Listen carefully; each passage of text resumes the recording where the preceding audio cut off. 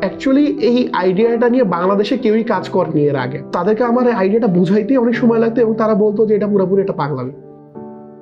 অন্য হচ্ছে একটা direct to consumer food start up আগে তো ছিল আমাদের ঘোষ কিচেন বাংলাদেশ। প্রথম আমরা কথা বলেছিলাম দুই হাজার উনিশ সালে আমাদের এমডি যে তামিদ জামান রাশি। তো লকডাউনের ঠিক আগে আগে উনি আমাকে বললেন, আমরা যেই কাজটার কথা বলেছিলাম, আমরা সেটাকে এক্সিকিউট করতে চাই। আমি তখন আমার জব টব যা আছে সবকিছু ছেড়ে দিয়ে আমি একদম এখানে ইনভলভ হয়ে যাই। এবং করোনার সময় দেখা গেছে যে অনেক রেস্টুরেন্ট বন্ধ হয়ে যাচ্ছিল। অনেক রেস্টুরেন্ট বিপদে ছিল।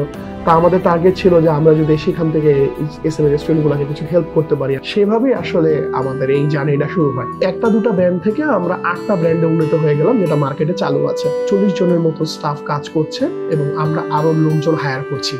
খাবারের জন্য তো টেস্ট এবং হাইজিন সবচেয়ে বেশি ইম্পর্টেন্ট আমরা এই সবগুলো ফুডকে ফ্রোজেন করে একটা প্রসেসের মাধ্যমে নিয়ে আসি এবং সেগুলোকে আমরা আমাদের পার্টনার্স কিচেনে পাঠিয়ে দিই। তারা অ্যাসেম্বল করে কাস্টমারদের কাছে ডেলিভারি করে থাকে। আমি অন্যের সাথে বিজনেস করে আলহামদুলিল্লাহ ভালোই সুবিধা পাচ্ছি। মাস শেষে আমরা যে প্রফিটটা পাচ্ছি, সেটা থেকে আমাদের স্টাফ এবং যাবতীয় যে খরচ, সেটা আমরা মেনটেন করতে পারতেছি। আমরা জিপি এক্সিলেটর ব্যাচ সেভেন যেটা আছে, সেই কোহোর্টে আমরা অংশ নিই। আমরা সেখানে যে মেন্টরশিপ পেয়েছি, যে হেল্প পেয়েছি, তাদের কাছে যে গাইডেন্সটা পেয়েছি, সেটা আমাদেরকে এই যে আমরা যে ফান্ডগুলো রেজ করেছি, সেগুলো রেজ করতে অনেক বেশি সহায়তা করেছে।